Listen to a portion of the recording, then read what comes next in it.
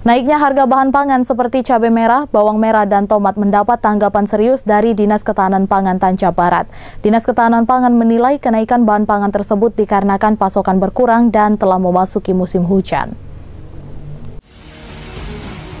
Pasokan berkurang di tingkat agen maupun para pedagang ini tentunya berimbas terhadap harga pangan di pasaran.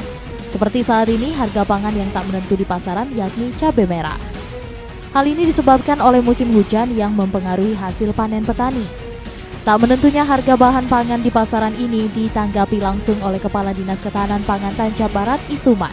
Menurutnya hal ini biasa terjadi di setiap tahunnya terutama di beberapa komoditi pangan di pasaran.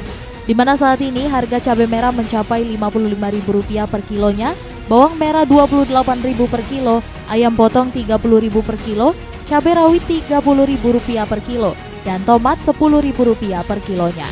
Sedangkan untuk jenis sayuran masih tetap stabil.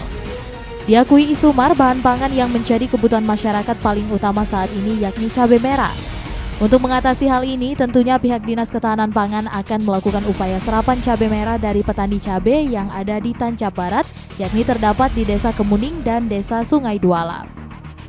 Sejauh ini, cabai merah yang dijual para pedagang didatangkan langsung dari agen cabai merah di Jambi. Dengan demikian, dipastikan kebutuhan pangan akan kembali merangkak naik, terutama pada momen akhir tahun mendatang. Ini terkait dengan eh, pasokan ya, pasokan ya, walaupun masih mencukupi untuk apa kita.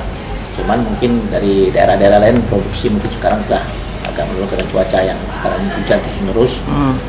Namun demikian dari upaya dari Ketahanan Pangan kita ada program eh, pertanian keluarga. Hmm. Sekarang ini ada beberapa kelompok kita sudah mulai panen juga cabenya hmm. seperti desa Kemuning dan di desa Sungai Dualap kita sudah mulai panen cabai merah atau cabai keriting nah, ini salah satu pemasok e, cabai di pasar-pasar Polat Mengkawin Dirinya memastikan meski harga pangan akan naik, untuk stok bahan pangan di tingkat pedagang akan selalu tersedia.